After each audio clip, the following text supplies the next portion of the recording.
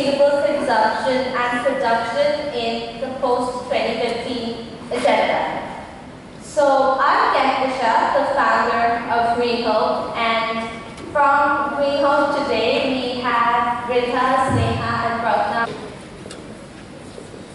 And we are so excited to be talking to all of you today about what you can do to protect our environment. Over here, which shows us a possible future if we don't act now. We have a tree stump, the earth melting, the earth surrounded by litter, and people begging for food because they are starving. Is this the kind of future you want?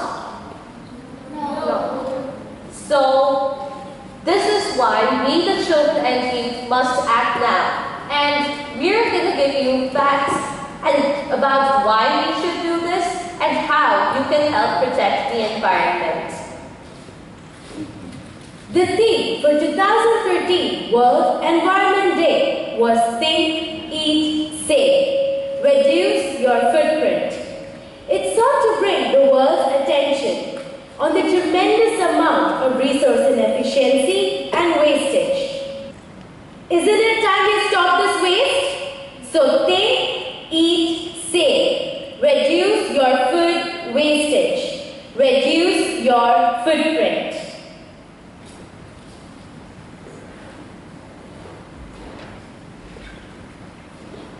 So, upcycling is very different from recycling. These are two different processes which confuse people a lot, and upcycling is kind of a new thing.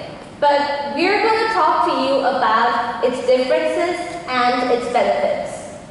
Upcycling is different from recycling. Recycling is the process of changing discarded materials into new products to prevent waste. Upcycling is the practice of converting waste materials or useless materials into new materials products of higher quality and value than the original. Upcycling, for instance, allows to transform garbage and toxic waste into resources moving them up in the supply chain. The opportunities to upcycle materials and toxics is everywhere and takes many shapes. So, resources are limited. However, with development, our consumption has increased greatly and we face the risk of running out of resources. This means that we're taking too much from the earth, way more than what the earth can actually give us. And this has become a huge problem right now because the earth cannot sustain us anymore. One very important thing for everyone is to segregate your waste for recycling so that it does not get mixed up in the factory and it's easy for everyone to sort it out and recycle. Use the compost as fertilizer for growing your crops and be plastic free. And by that, you can easily use the upcycled biodegradable bags or juice bags. Just try not to use plastic because it is really bad for our environment.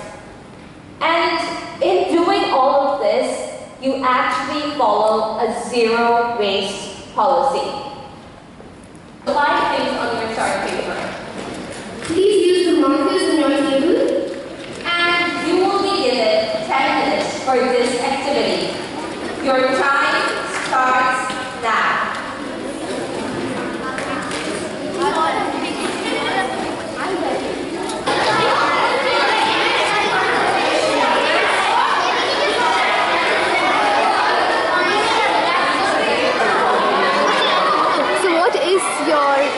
about? Where's the water? Huh?